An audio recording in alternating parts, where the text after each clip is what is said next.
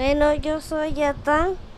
Yo me gustaría tener un México con, con más árboles.